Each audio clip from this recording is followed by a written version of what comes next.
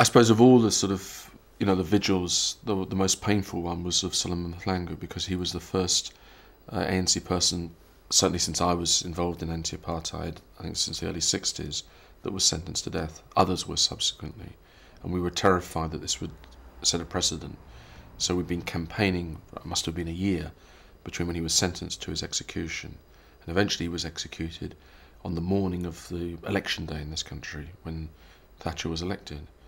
Um, we've been trying to get the British government to intervene, and other groups elsewhere had been trying to get other Western governments, and initially had no success at all. They just refused to intervene, said they had no locus standi to intervene.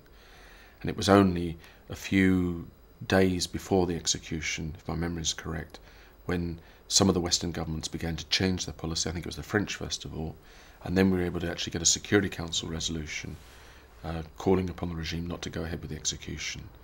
But by that stage, it was, you know, it was too late for that to have an effect. It was a few days before the execution, and if only, right, we'd been able to move governments in an earlier stage, it might have been that we could have saved his life. So we were there outside South Africa House all night, knowing, you know, that, oh, that there was no you know, there was very little chance of a reprieve, hoping, hoping somehow there might be a reprieve. Um, and then in the early hours of the morning, we'd heard that he was executed.